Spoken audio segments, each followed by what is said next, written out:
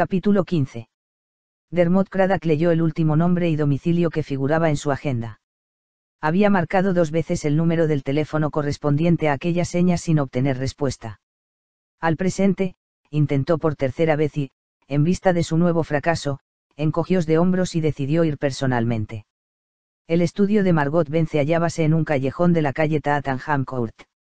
Aparte del nombre inscrito en una placa junto a la puerta, no había gran cosa para identificarlo, ni siquiera unas frases de propaganda. Dermot subió a tientas al primer piso. Allí entrevió un gran cartel pintado de negro sobre fondo blanco, con el siguiente texto, Margot vence. Fotografía de figura. Sírvase entrar. Craddock pasó al interior. Había una pequeña sala de espera, mas ninguna persona encargada de atenderla. Tras unos instantes de vacilación, el inspector carraspeó sonoramente de un modo algo teatral y en vista de que no acudía nadie, preguntó, levantando la voz. ¿Hay alguien ahí? Al punto, percibió el rumor de unas zapatillas detrás de una cortina de terciopelo. Esta se entreabrió y un joven de abundante cabellera y cara sonrosada atisbo por la abertura. Lo siento en el alma, señor, disculpóse el muchacho. No le he oído entrar. Acababa de ocurrírseme una nueva idea y la estaba poniendo en práctica, añadió, apartando a un lado la cortina.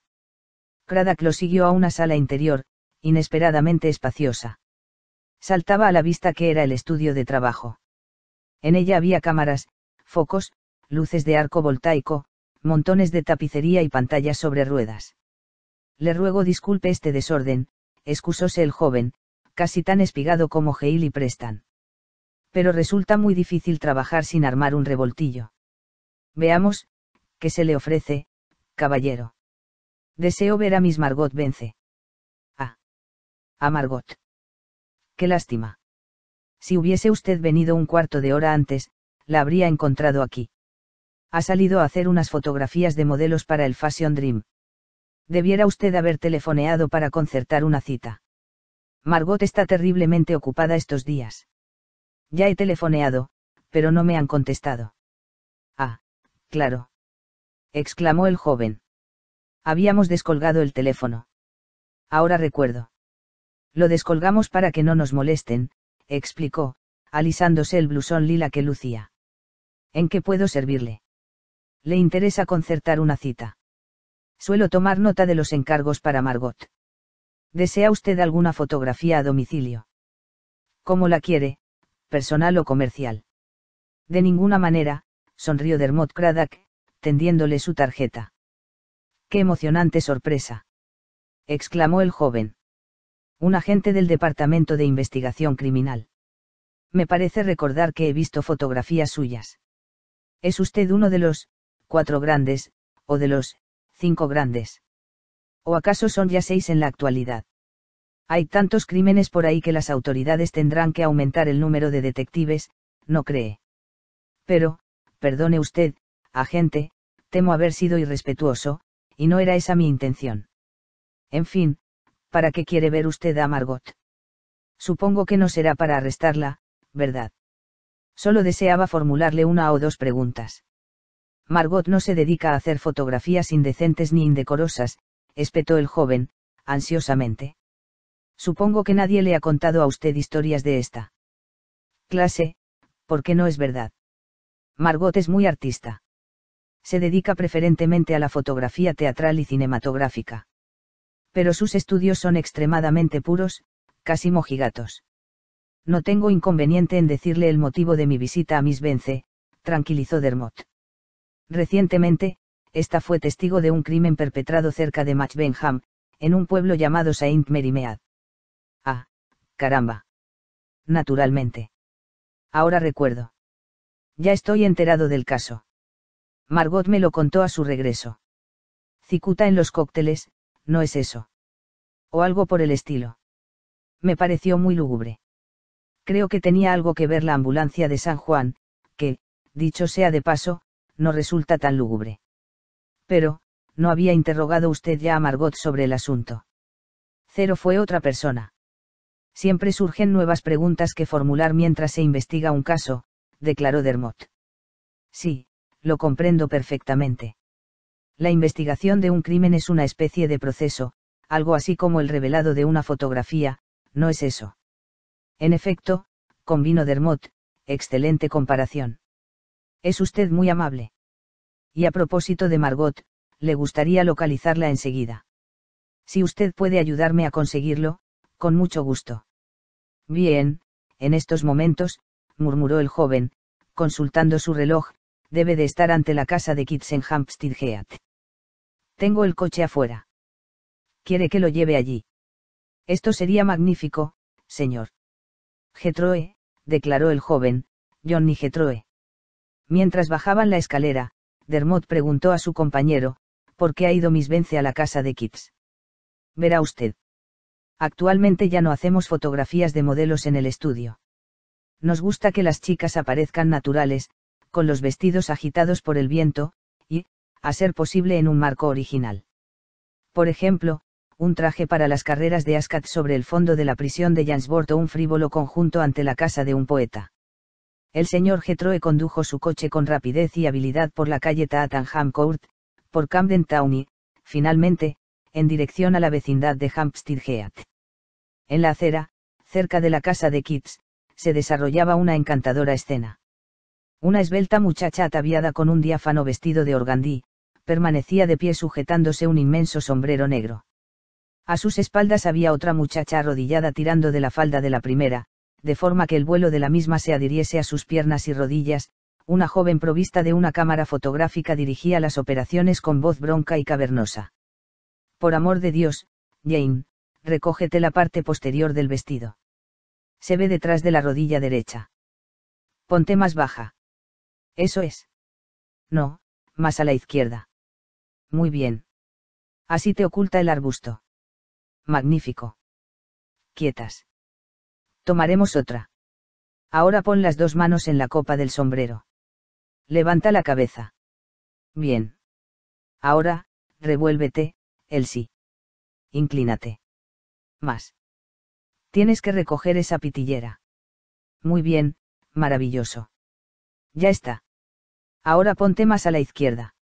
La misma pose, pero con la cabeza vuelta hacia acá. Ya está. No comprendo por qué me tomas tantas fotografías por la espalda, refunfuñó la muchacha llamada Elsie, algo moina. ¿Por qué ese vestido te queda precioso por detrás, querida? dijo la fotógrafo. Y, cuando vuelves la cabeza, tu barbilla surge como la luna sobre una montaña. En fin, creo que ya estamos listos por ahora. Eh, Margot. Gritó el señor Getroe. Ah. exclamó la joven, volviendo la cabeza. Eres tú. ¿Qué haces aquí? Te he traído a alguien que desea verte. El inspector jefe Craddock, del Departamento de Investigación Criminal. Los ojos de la muchacha volviéronse rápidamente hacia Dermot. Este se dijo que la expresión de aquella mirada resultaba un tanto precavida y escrutadora, cosa. Al fin y al cabo, perfectamente natural. Era la reacción corriente de la gente en presencia de un detective.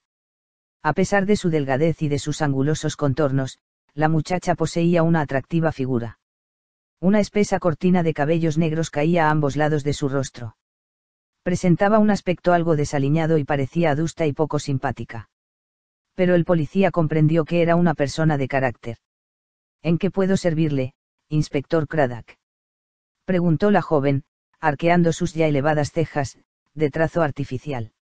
Mucho gusto en saludarla, Miss Vence. Deseaba rogarle que tuviera la amabilidad de contestar a unas cuantas preguntas sobre aquel desagradable suceso ocurrido en Washington Hall, cerca de Match Benham. Si no recuerdo mal, fue usted allí a tomar unas fotografías. En efecto, asintió la muchacha. Lo recuerdo perfectamente. Y lanzándole una rápida y penetrante mirada, agregó. Pero a usted no le vi allí. Seguramente, era otra persona. El inspector, inspector. El inspector Cournisi. Sugirió Dermot.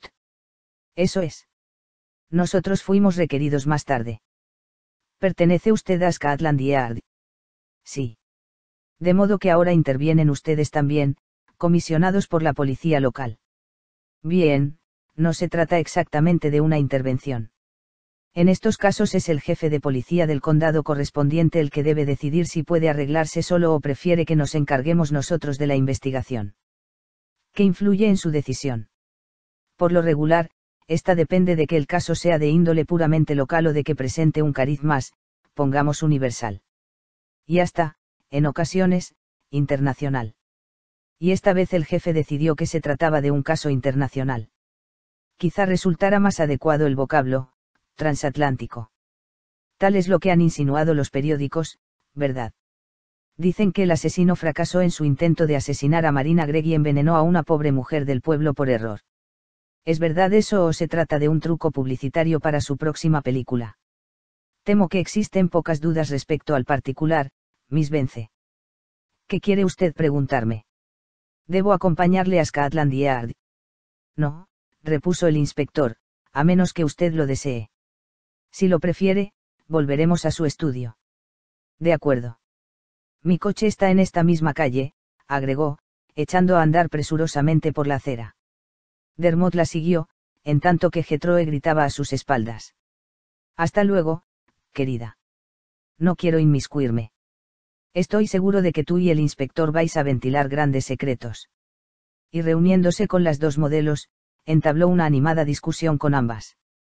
Margot subió al coche y abrió la portezuela del otro lado para que subiera Dermot Craddock. Luego, procedió a conducir sin despegar los labios en todo el trayecto de regreso a la calle Tottenham Court. Al llegar a esta, viró hacia el callejón y, al final del mismo, metióse por una puerta abierta. Aquí tengo mi aparcamiento, dijo entonces la muchacha.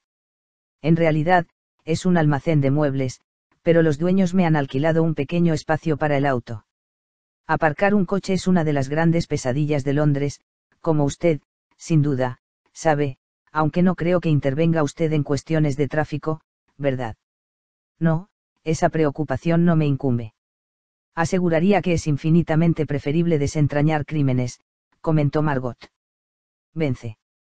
Tras conducirle al estudio, la joven le indicó una silla, ofrecióle un cigarrillo y hundióse en un gran canapé redondo, situado enfrente de él.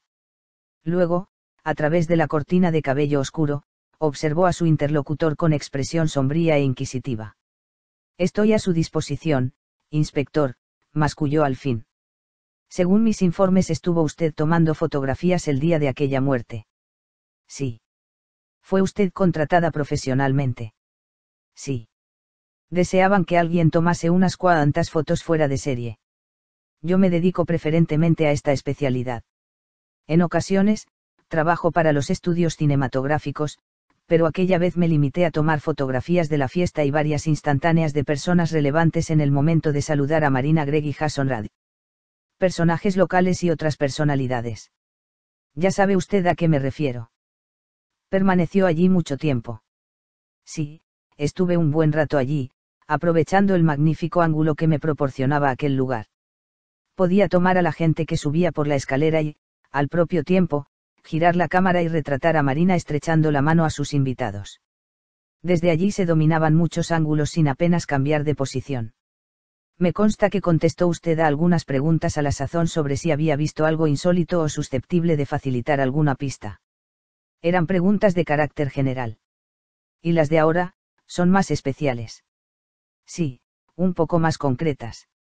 Veía usted bien a Marina Gregg desde su rincón. Perfectamente, afirmó la joven, con un ademán de asentimiento. Y a Jason Rad. Solo a ratos, porque él se movía más, ofreciendo bebidas y presentando a los invitados entre sí, las personas del pueblo a las celebridades, y viceversa. No vi a aquella señora Badley. Badcock. Lo siento. Badcock. Como iba diciendo, no la vi tomar el brebaje fatal. De hecho, no sé exactamente quién era esa señora. ¿Recuerda usted la llegada del alcalde? Por supuesto, recuerdo perfectamente al alcalde. Llevaba su cadena y su indumentaria oficial. Le tomé una fotografía mientras subía la escalera, un primer plano, por cierto que tiene un perfil muy cruel, y después otra estrechando la mano a Marina. En este caso, cuando menos puede usted fijar en su mente aquel momento.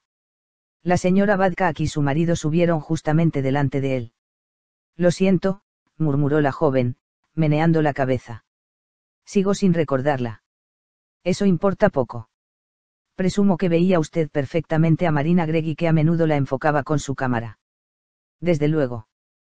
Casi todo el tiempo. Aguardaba el momento oportuno para fotografiarla. ¿Conoce usted de vista a un hombre llamado Art Wickfen? Oh, sí. Perfectamente. Trabajaba para el cine y también para la red de televisión americana. ¿Lo retrató usted? Sí, en el momento en que subía con Lola Brustar. Iban detrás del alcalde. Sí, creo que sí, convino la muchacha tras unos instantes de reflexión. ¿Se fijó usted si por entonces Marina Gregg pareció sentirse súbitamente indispuesta? Observó algo extraño en la expresión de su rostro. Margot Vence inclinóse hacia adelante, y abriendo una cigarrera, tomó un pitillo y procedió a encenderlo. Aun cuando no había contestado a la pregunta, Dermot se abstuvo de apremiarla. En vez de ello, aguardó, preguntándose en qué estaba pensando la muchacha. Por último, esta inquirió bruscamente. ¿Por qué me pregunta eso?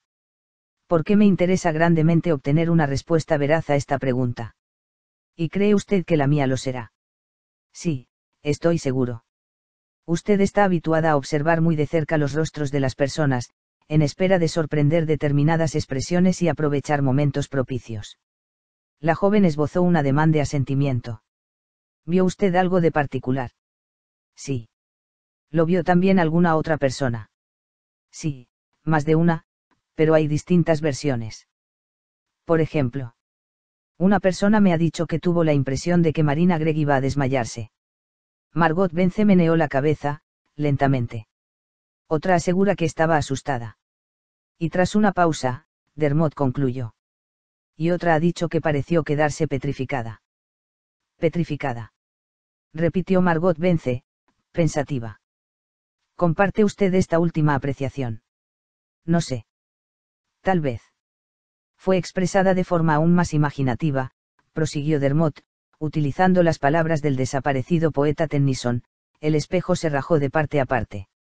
La condenación ha caído sobre mí, exclamó la dama de Salot. No había ningún espejo, repuso Margot Vence, pero, de haberlo habido, es posible que se hubiera roto.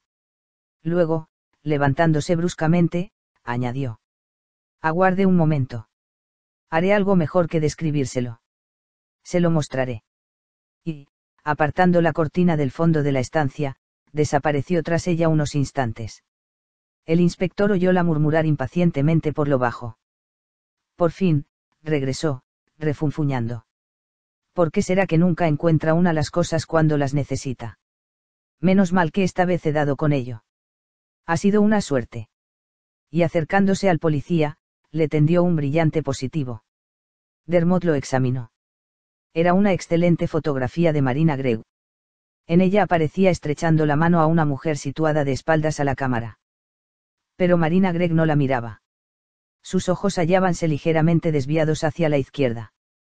Lo que llamó la atención a Dermot Craddock fue que aquel rostro no expresaba nada definido. Semejaba exento de angustia y de temor. La mujer de la fotografía contemplaba algo, y la emoción que le producía aquella contemplación era tan grande que veíase en la imposibilidad física de expresarla con ninguna expresión facial.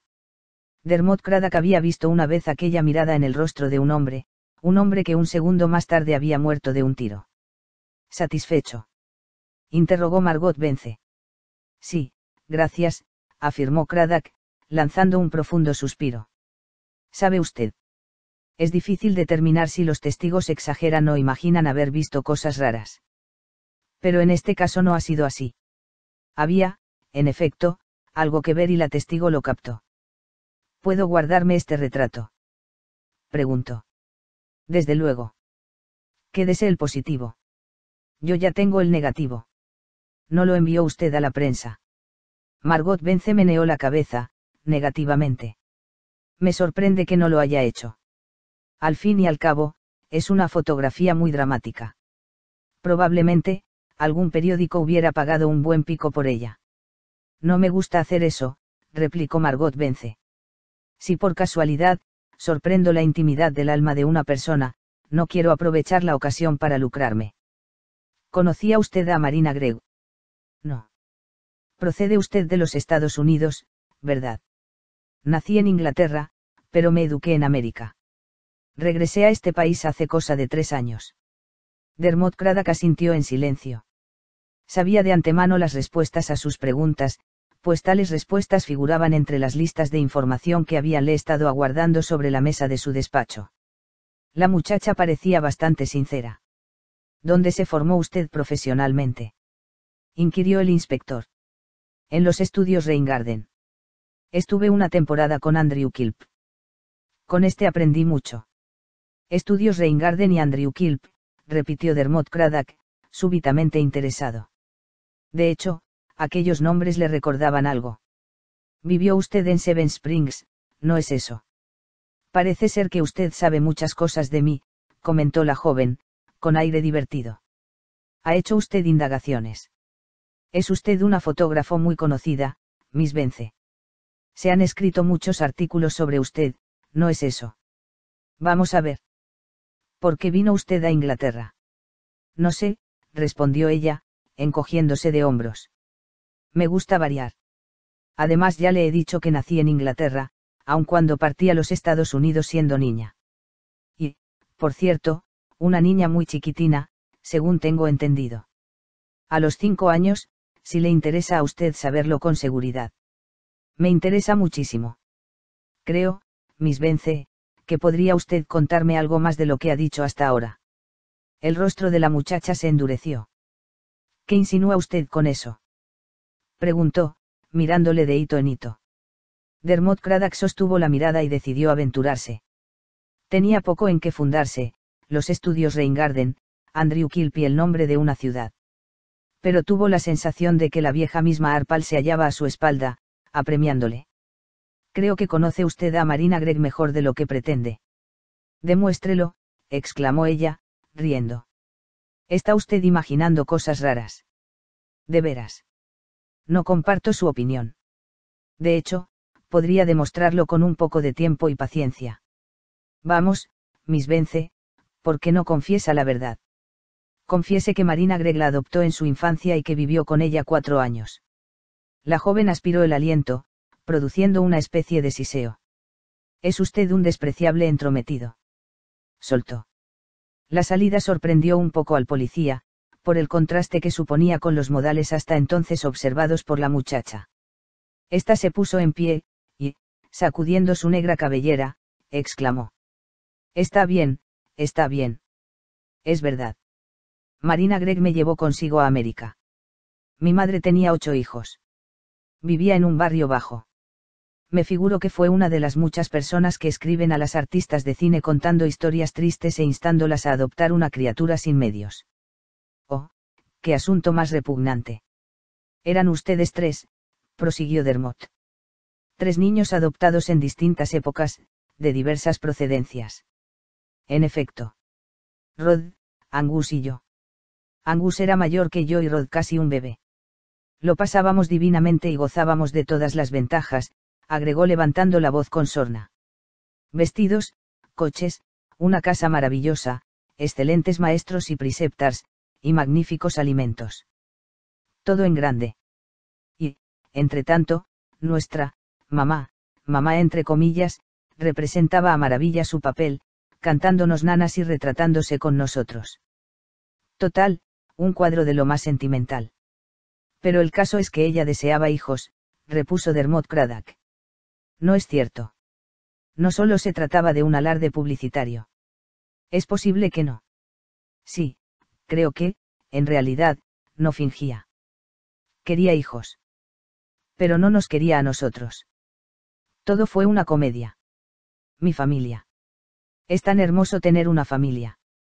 Easy se lo consintió. Debiera haber sido más precavido. ¿Y si era Isadora Wright? Sí, su tercer o cuarto marido. No recuerdo exactamente cuál. Era un hombre admirable. Creo que la comprendía, y únicamente en ocasiones se preocupaba por nosotros. Nos trataba con afecto, pero no pretendía ser un padre. De hecho, no se sentía padre. Lo único que le interesaban eran sus escritos. He leído algunas de sus cosas. Son sórdidas y algo crueles, pero intensas. Opino que algún día la gente le considerará un gran escritor. ¿Y hasta cuándo duró la cosa? Hasta que Marina se cansó de representar aquel papel, contestó Margot Vence, esbozando una súbita sonrisa. Mejor dicho, eso no es del todo exacto. Lo cierto es que contribuyó a ello el hecho de su futura maternidad. Y luego. Luego, se acabó.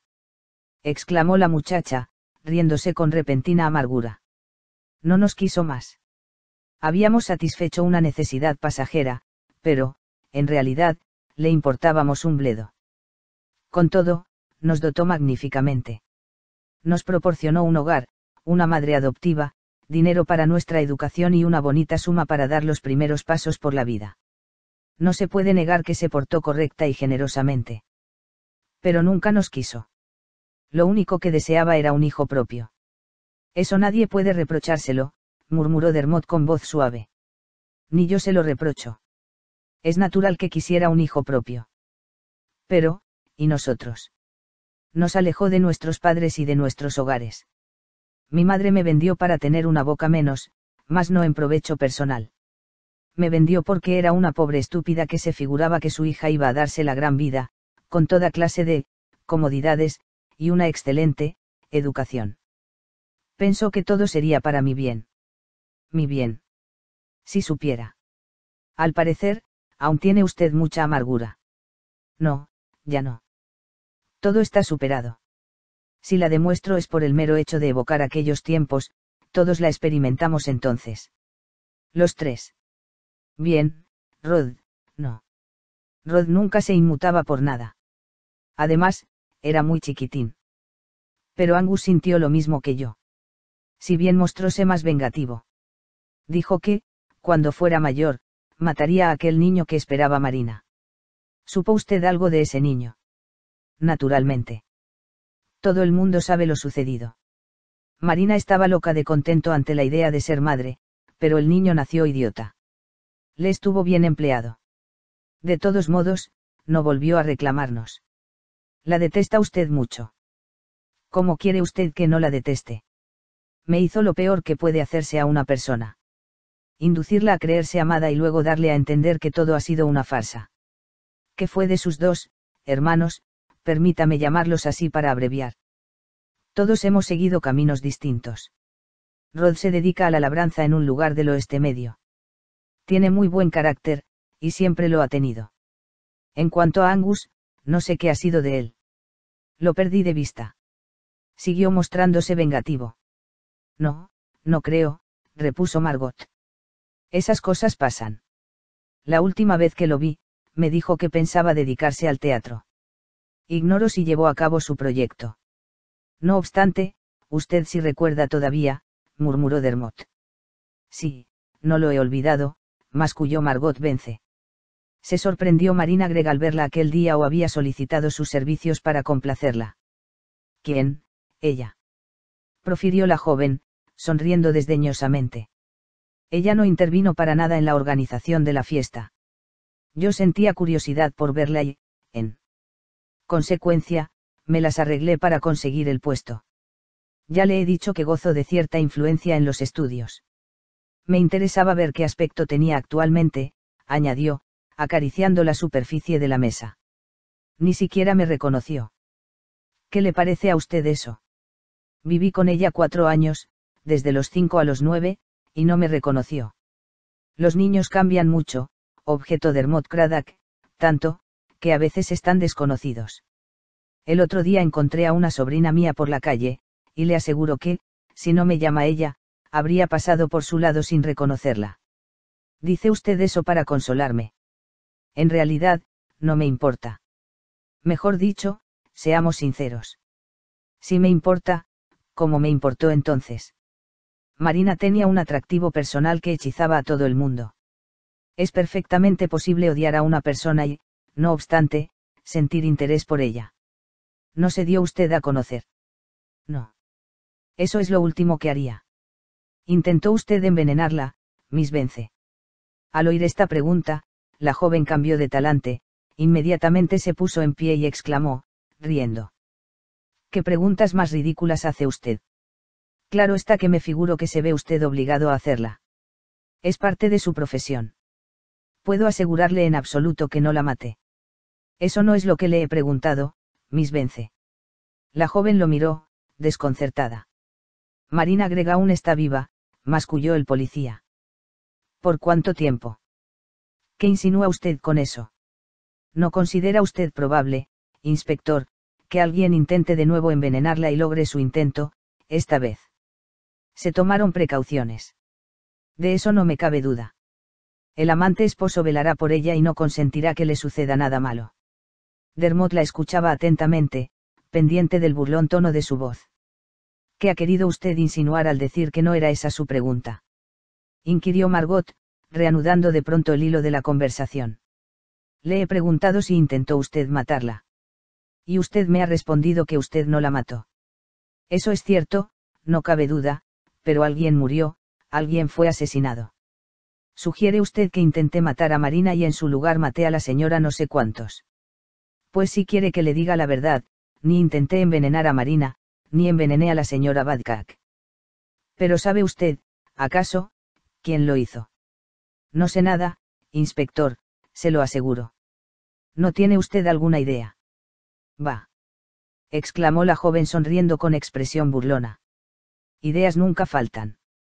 Entre tantas personas pudiera haber sido aquella especie de robot de pelo negro que tienen por secretaria, el elegante y Preston, los criados, las doncellas, una masajista, la peluquera, un empleado de los estudios, infinidad de gente cualquiera de esas personas podría haber fingido lo que no era.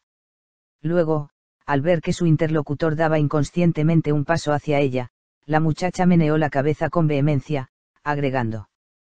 Tranquilícese, inspector. Todo esto es hablar por hablar.